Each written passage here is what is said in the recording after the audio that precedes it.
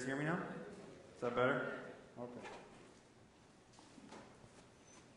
Well, an IT guy, Well, praise the Lord. Happy Sabbath. Good to see you guys. I see some friends of mine back there. You know who you are. Prince. Uh, happy Sabbath. Uh, it's good to be here. I'm, I'm, happy to be here with my family, my wife and daughter, and soon to be son coming home. Uh, the holidays are a good time for family, fellowship, and Just thankful to be here this morning. How many of you are thankful that the year is almost over? I, I always I joke about this, but this is semi-serious. There's sometimes I come into Sabbath running. There's sometimes I come into Sabbath crawling. And there's sometimes I'm being dragged in through the door. It's been that kind of week, and, and that's been that kind of week, but God is merciful and God is through it. So praise the Lord. Um, before we get started, I'd like to start with a word of prayer. Dear Heavenly Father, we want to thank you for your mercy. We want to thank you for getting us through another week and almost through this year. We just ask that you continue to bless us and that you um, guide us into your truth this morning. In your name we pray. Amen. You know, one of the one of the things that I, I really enjoy studying just on my own, you know, I'm not a I didn't take this in school or anything like this, but I love history. I love how history sometimes can predict what's going to happen in the future because sometimes we see patterns. You know, what's happened before will happen again. And one of the things that I, have seen if you, when you study the, the history of humanity, you see consistently that human beings have this tendency to put our trust in people that are not trustworthy. You guys know what I'm talking about? How many of you voted? There's my answer right there. We consistently put people in power that shouldn't be ruling over us. They don't care about us, they have no inclination to help us, they're only there for themselves. And a lot of times it leads us to ruin because we've allowed that to happen. Now, in some cases, the, the population may not have had a choice. You know, we've seen in the last hundred years the wars, the dictators, the evil people that have taken over uh, various places in the world and have caused chaos and mayhem and murder and all this destruction. But there's a repeated pattern of human beings that we continually allow people who have no business to have authority over us. And I want to compare this a little bit to how God intended for us to be. You guys know uh, originally in the, the Garden of Eden, if you've heard me preach, if you haven't, I'll give you a, a quick refresher. In the Garden of Eden, we had a perfect, ideal place. Now, it's hard for us to imagine peace and prosperity. It's hard for us to imagine waking up every morning refreshed. I literally get out of bed in the morning like this. Ready, trying to go into the day, you know, prepared for whatever whatever is there for me. And it's hard for me to even know what a good night's sleep is. How many of us eat right all the time? How many of us regret? We have, I call it the Adventist hangover. We ate something we shouldn't have ate, and not only did we eat it, we ate too much of it. And the next morning we're paying for it, the next day maybe. You can imagine in the garden we had everything perfect. The perfect food, the perfect job, the perfect spouse, everything was perfection. It's hard for us to imagine that. I get paranoid on days that things go too good. Amen. I go to the store and there's no line. I get the bill that I thought was going to be more and it's less, and I say, What's going on? Something's not right. It can't be this easy today. But God, in His love for us, as an expression of his love, gave us this planet. And it wasn't just this planet, it was the things of the planet. He gave us good food to eat. Our original heavenly diet fruits, grains, and nuts. All things that were easily pickable. You can imagine going into the garden and you don't have to work for anything. You don't have to cook anything. You don't have to stand in line. You just go pick it and eat it. And everything that you have is good for you. Everything that you eat is nourishable and, and, and brings about health and life and good sleep. And, and, and, and you're, you wake up in the morning awake and, and fresh. And God gave us the perfect job. He gave us dominion. Dominion means He put us in charge. We were in charge of the planet. Now, you guys know already, would you put us in charge of the planet? Would you trust any one human being on this planet to run the place? Nope. And it went about as well as expected. But the difference is, is that Adam and Eve were perfect. They weren't falling like us. They hadn't degraded to the point where they had their attention, you know, constantly diverted by something else. They had no anything to compete with their attention. They didn't have social media. They didn't have fake news. They didn't have politicians trying to rob them. They didn't have people trying to steal from them or trying to, you know, do bad things to them. They had none of that. And they still fell. If you would turn me to Genesis chapter 3. Genesis chapter 3. And this is what happens when God has given us dominion. And, and I want you to understand this because this is the key concept for this morning and this whole message. Is that in order for us to have dominion, who has to be the ultimate authority? God. It has to be God. God has to reign supreme because the only reason we have dominion is because of Him. So if we remove Him, what does that also remove? Us. It removes our dominion. Genesis chapter 3, starting with verse 8. And they heard the sound of the Lord God walking in the garden in the cool of the day. And Adam and his wife hid themselves from the presence of the Lord God amongst the trees in the garden. Then the Lord God called to Adam and said to him, Where are you? Now, for those of you who don't know, did God know where they're at? Does your mother know where you're at? Of course she does. She's not asking you because she doesn't know. She wants you to understand where you're at. Probably in a place doing something you shouldn't be doing. And this is what God was, was trying to get Adam to, to, you know, to understand, for him to, that light to go on and to say, I'm hiding from God. God's never done anything to me to hurt me. Why am I hiding from him? Continuing on, it says, So he said, I heard your voice in the garden, and I was afraid because I was naked, and I hid myself. And he said, Who told you that you were naked? Have you eaten from the tree which I commanded that you should not eat? Then the man said, The woman whom you gave to be with me, she gave me of the tree, and I ate. Now, husbands, if you want to end up on a couch, the quickest way is to blame your wife and God. In the same sentence, no less. Now, we laugh about that, but, but the fact is, is that that's what he was doing. He was saying, well, this defective person you gave me, she led me away. So it's either her fault or your fault. That's what he's telling God. Now, again, Adam never had a contention with God before. God never did anything to hurt Adam, gave him nothing but love and blessings and life. And this is his response to God. It says, And Lord God said to the woman, what is this you have done? The woman said, The serpent deceived me, and I ate. So, what went wrong? You notice they were both blaming someone else, something else. Neither one of them took ownership. Hey, I messed up. I thought it was something else. Hey, I just went along with my wife, whatever. No, it was always blaming somebody else. And I want to read the, actual interaction between Eve and the serpent to see if what she said was actually true. Because she said she was deceived, right? That was her, her defense to God that she had been deceived. This is from chapter 3, verse 1.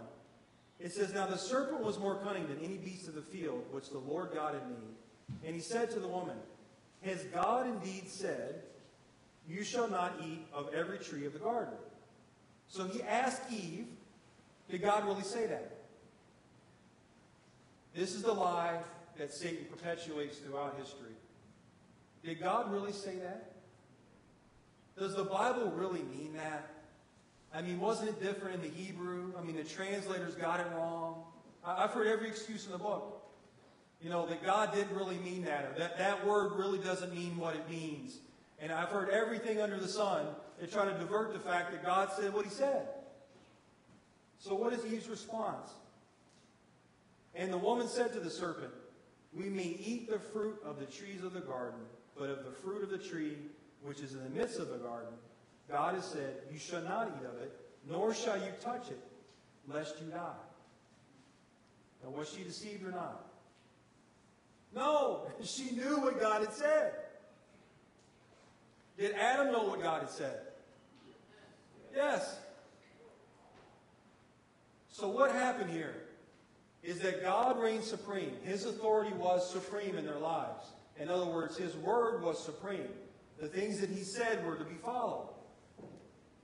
And once they diverted from that, and they started believing what someone else said or something else said, then they took the authority from God and gave it to who? Who now has authority on the, on the earth? Satan. Satan has authority. And I want you to imagine spouses, and I'll pick on the wives first and the husbands after, okay? I want you to imagine, husbands, that your, your wife that you have a covenant with, that you've sworn before God that you would love the, in sickness and in health, that every major decision in life that you'll discuss and that you both have agreed to serve the Lord wholeheartedly. And she comes home one day and says, You know, I ran into this random guy at Safeway, and he told me I should do this, and I did it. How many of you would think that would go over well? If your wife came home and said, I ran into some random guy, and he said, Yeah, yeah, did your husband really say that? Did you guys really agree on this? Here, you need to do this thing. And now your marriage is in jeopardy. This is what Eve did effectively. She trusted some random source. She did not have a relationship with, with Satan. It wasn't like they talked every day and over time, you know, he kind of like worked it in there. This is somebody she just met. And immediately she turns away from the Word of God. And then she blames the serpent.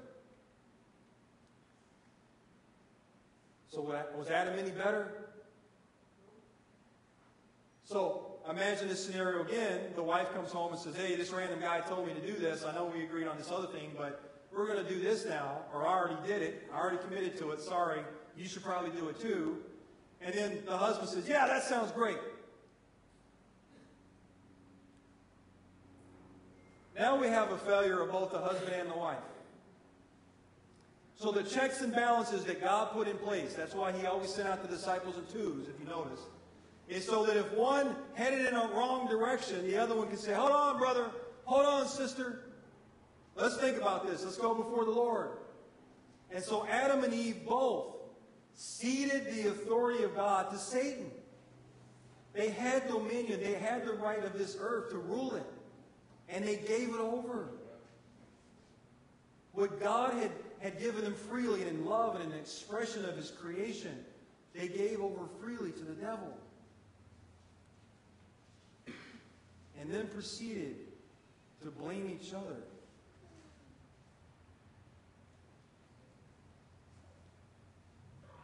Now, God was not mad at Adam for listening to his wife. He was upset with Adam because he heeded his wife's voice. There's a difference. There's a difference between listening and saying, okay, let's talk about it, and actually doing it. And I cannot stress this enough that God has put you in a marriage to help each other. Not help each other sin, not help each other go the wrong way, but if your husband or wife comes home and tells you something that's contrary to the Word of God, it is your duty as a spouse to say, hold on a second. You have to stand on the Word of God. If I say something contrary to the Scriptures, my wife will call me out on it. She better. That's what love is. It's looking out for me, looking out for her. My wife comes to me and says, hey, I think we should make this decision, and it's contrary to what the Word of God says, I'm going to say, you know what? We need to pray about this. I don't agree with this. That's what love is. But if you notice here, Adam and Eve, they didn't have that. Eve disregarded her husband, and Adam disregarded his wife. Where was the love there? But it seemed that everybody was listened to except God. And they knew the Word of God, they knew what He said, and He disregarded it. And now that dominion was lost. They were now no longer under God, they were under Satan. Now we know God provided the earth and provided sustainability and perfection and life and liberty and peace. What does Satan provide? Walk outside. Drive around the island. And we have it better than most here in the islands. Lucky we live Hawaii. But even then, you will see the, the sinfulness of this world. Turn on the news. Death, destruction, mayhem, pandemics. People fighting that can't even agree on what to do about a pandemic. You have people that don't care that, that people are dying. I mean, it's, it's getting worse and worse and worse. And this is what happens when we are under the authority of Satan. He has no care for us. The only thing he provides us is death. It says the wages of sin is death. And we traded all that. For what? What do we get in return? Nothing but heartache. Nothing but destruction. Now, who does the, what does the Bible constantly compare a woman with in the Bible? Church. Church. So I want you to think about this for a minute. As God had provision after the fall of man, He knew it was going to happen. So His provision is to bring us back under His authority. So how did He do that? The woman, the church. God raised a nation, the Jewish nation, the nation of Israel. And he entrusted them with the oracles of God. He trusted them with the law and the prophets. He tr- entrusted them with the tabernacle service, which was supposed to point us to the Messiah that was to come, his son. And he said, I've established this institution to restore order on the earth and to be a light amongst, amongst all the peoples, to bring them back to me, to take the authority back from the devil and restore it to the God who is a God of love and not a being of hate like Satan. And what happened with that church? Was she faithful? Or did she do like Eve? What happened was the church, instead of having God supreme and His Word supreme, the church became supreme. And that's dangerous. They no longer worship the God of the church, they worship the church itself. And what do they do? They misalign the character of God. They cause, instead of causing light in the world and God to be drawn, you know, people to be drawn into to, to God's kingdom, they drew them into further darkness. And now they were under Satan as well. And see, this is the deception, see. Satan initially targeted husband and wife in the garden. And when God raised the church, he targeted the church. Because the original institution that was supposed to protect the earth was marriage. And that failed. So his next institution was the church, which was also supposed to be a marriage between the woman, the church, and the congregation, the husband. That also failed. Because not only did the, did the wife, the church, apostatize, but the husband with her, the congregation. So now the ones preaching and the ones hearing are both lost. And Satan still has authority. So now he has a church. But friends, this is why one of the reasons that I love the Lord so much is that He knew from He knows from beginning to end. He knew these things would happen. He knew that the provisions that He that he had, the, the, that he provided for, the, the, the, the ceremonies and all these other things in the law, he knew they would be twisted. They were supposed to be a blessing. They were supposed to be a, a reminder that, that, that he was going to send his son to die for us. Instead, it was twisted. Instead of becoming an inclusive church, it became an exclusive church. Instead of building gates and highways into the church, they built walls. Sound familiar? But God had a fix for it. And this fix wasn't just for a time. This fix wasn't just for a place. This fix wasn't just for one people. This was a permanent fix forever. Does anybody know what the fix is? Jesus. It's Jesus. Jesus is the fix. You would turn me to Isaiah chapter 9. Isaiah chapter 9, starting with verse 6. When the church had been centralized, I want you to imagine that, you know, here today, you had a choice to come here. You could have chosen to go to church tomorrow anywhere else. There's a bunch of different churches you can choose, a variety of denominations. There's a variety of religions you could have chosen too. They have their various server, services, they have their various congregations, whatever. You chose to come into this church. But for the people of Israel, they only had two choices. They had secularism, secularism, I can't even say that word. You know what I mean? Secular Rome, and they had a theocracy in Israel. Now, was the God of the Bible preached in either one of those situations? No. So the Jews, if they wanted to go to church, they had one choice. And that one choice was an apostate church. So they go and they hear about a God of the Bible who isn't really the God of the Bible. Can you imagine coming into the service this morning and hearing me preach that if you're poor, God doesn't love you? That if you're broken, that if you've had a tough week, that you can barely pay your bills, that God doesn't love you because if He did, He would have blessed you more? Can you imagine coming in this morning and, and having to check your, your credentials at the door and saying, You're not educated enough? God doesn't love you, obviously, or He would have blessed you more? This is what they were fixing at the time. They weren't even welcome in their own congregation. And so there was this exclusive God that was preached. There was this God of torment, a God of, of uh, you know, he, he didn't want to heal you. He didn't want to accept you. He didn't want to love you. He didn't want to forgive you. He didn't want anything to do with you. You can imagine the poor, the poor people, you know, when, when Christ came, how excited they were to hear God loves the poor. God loves the prisoner. God loves the sick. God loves the sinner. It says in Isaiah chapter 9, verse 6. It says, For unto us a child is born, unto us a son is given. And the government will be upon his shoulder, and his name will be called Wonderful, Counselor, Mighty God, Everlasting Father, Prince of Peace. Of the increase of his government and peace, there will be no end. It will never end.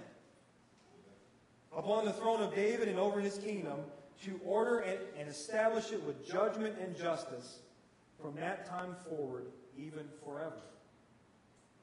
The zeal of the Lord of hosts will perform this.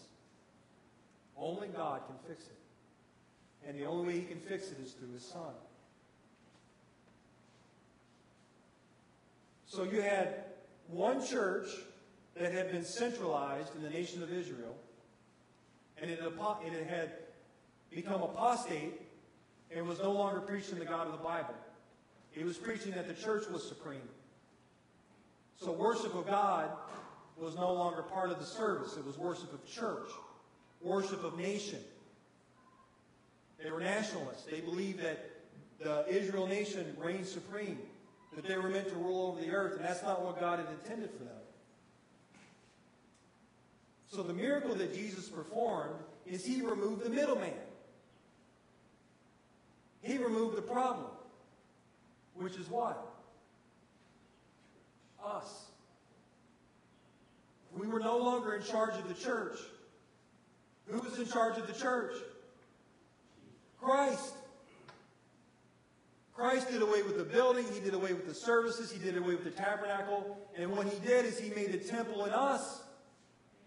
So he could come to us directly. He could bypass the middleman who was not preaching the truth.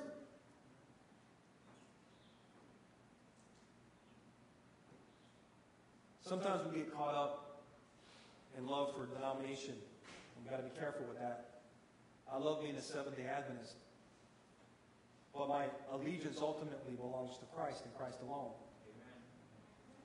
If I hear things that are not preached, if I hear things that are preached in, in, our churches that are not biblical, then I have the Bible to compare it to.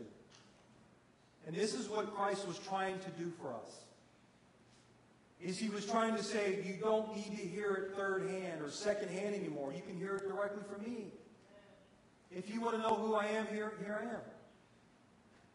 Now, friends, was there a contrast in the God that was preached in Israel and in Jesus that came to save us? When he lived in, in this world and he, he mingled amongst the population, was his character different than what was being preached? The masses loved him. The people that before weren't even welcome in the temple, all of a sudden they were guests of honor in his presence. The lowly, the poor, the, the, the mother without a son, without any sustenance, all of a sudden she was lifted up and made to feel like she was a VIP. That's why I love that verse of, or the, the story of the prodigal, is when the prodigal returned, he wasn't just brought back into the house. He was treated as a guest of honor. For those of us who have not lived honorable lives, to be at the table with Jesus and being treated as if we had lived honorably is a miracle. Only the love of God can do that. And so now God's fix is that he sends his son to reign supreme over the church and removes the middleman. And our tendency is to do what? It's to put the middleman back in place. How many denominations, including our own, are guilty of this? That God doesn't reign supreme all the time.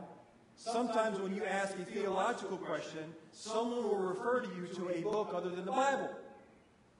Or someone will refer you to a manual. That's not the way it works. It's supposed to be God's Word reigns supreme. His Word and His Word only. Those other books, those other references are supposed to point you back to the Bible. This is where things go wrong. Did God really say that? You guys have heard my frustration. I, I hear preachers all the time try to explain to me what something means in Aramaic or Hebrew as if they speak fluent Aramaic or Hebrew. And they're trying to, you know, discredit a, a verse in the Bible as if God didn't have the forethought to think that the translators would not get it right. That, you know, the translation to English would be off enough that we needed the theologian to explain it to us. And this is what God was trying to bypass. He was trying to say, you guys constantly are putting other men, other people, even the devil himself above me. And I'm going to give you direct access to me again. We hadn't had that since the garden when he, walks the, when he walked amongst us. John 17 says this, and this is Christ praying. I do not pray that you should take them out of the world, but that you should keep them from the evil one. They are not of this world, just as I am not of this world. Sanctify them by your truth. Your word is truth. As you have sent me into the world, I also send them into the world. And for their sakes I sanctify myself, that they may also be sanctified by the truth.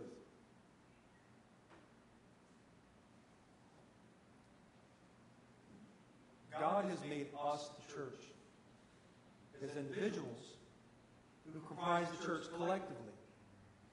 It does not comprise the building anymore. Even though I like coming to the building, this building is no longer here tomorrow. We have bad weather or something happens. Does that mean the church is gone? No. We are the church. We are the church. But the first church, the first institution of church again was marriage. That was the first church. The congregation was Adam and Eve. Then God moved that to a centralized nation. And that became the church. And that apostatized.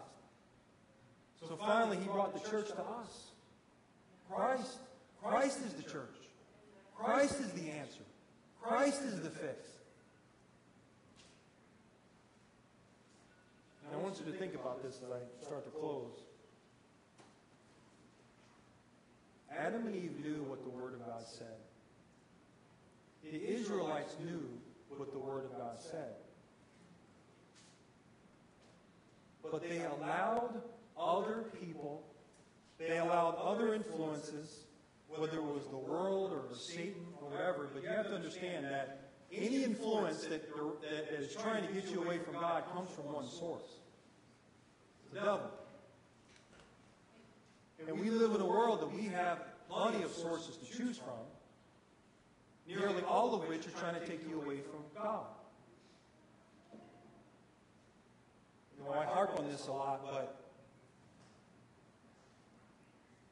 I love information. I'm an IT guy, I'm a computer guy. I love being on a computer. I love searching things and reading about interesting things. But when I go to read something, or I go to watch something, or read an article, I have to go into that understanding that the majority of the world is lost. I also have to go into the understanding, even when I read religious materials, even of fellow Protestants, that the majority of the Christian world doesn't know who God really is. Which means that nearly every source that we have available to us is tainted.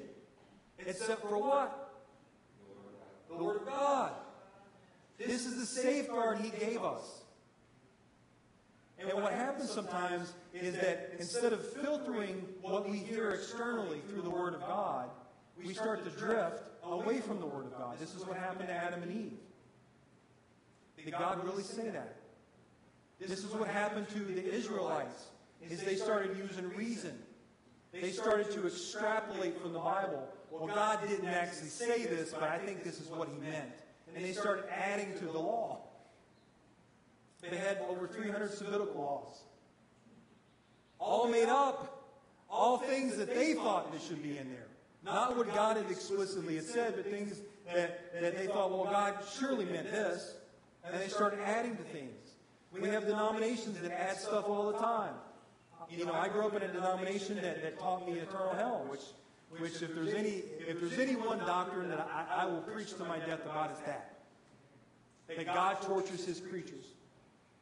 That even the worst sinners get, go to hell for eternity. The majority of the Christian world believes that. Contrary to the Word of God, who say the sinners are burned up. Who even say that Satan will be turned to ash in Ezekiel. There's plenty of examples. But you see, the world is tainted. Even our Christian world is tainted. Most have apostatized. Most don't preach the God of the Bible. They, they, they preach the God of tradition, just like the Israelites did. They misinterpret things, and now God's character is misaligned. But his fix was Christ. His fix was to send his son to die for us. And friends, I want you to think about this for a minute as I close.